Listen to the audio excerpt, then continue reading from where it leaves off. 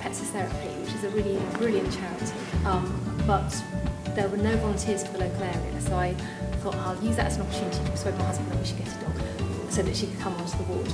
Um, and then when we eventually contacted Pets Therapy, you're not allowed to be employed and have your pet registered as Pets Therapy when you're actually here. Um, so we went down the route of actually insuring her as a working dog, which has actually given us an awful lot more freedom. So, so she started off just for short periods, so I live quite close, so we would just like take her home.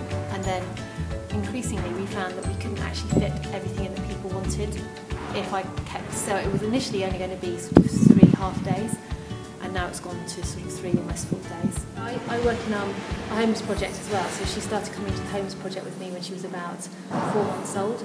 So she got really used to actually being around quite a wide variety of people lots of different she is just a really good temperament. So it's worked really well because what we wanted to do was get an idea of, she's involved with some group work, so we have like rambling groups, um, so she'll go for long, long walks. Um, for one of the clients, she's got really poor standing balance, she plays football with him, so he's got no idea that obviously we're using her to try and improve his posture. There are other people who maybe don't talk as easily just to somebody, but they talk really well when she's actually in their presence, so we're pleased with Um, when he first came in, he just found it very, very difficult to engage socially with people.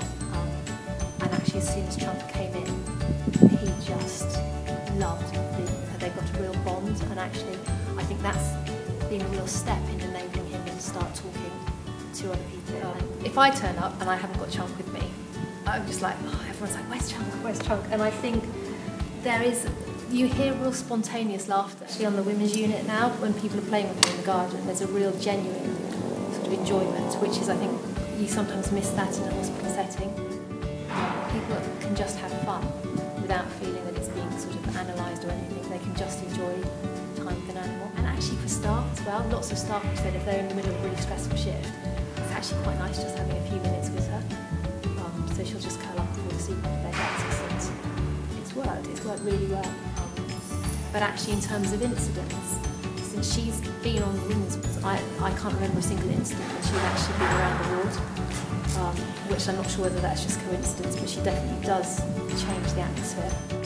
We did it really carefully. So, you know, we, I, I looked at all the research and then I read the protocols and read the risk assessments and all of that was in relation to pets therapy. I'm really lucky that the management sort of, I mean, they never even really questioned it. It was almost, it almost always felt as if it didn't make sense that it hadn't happened before.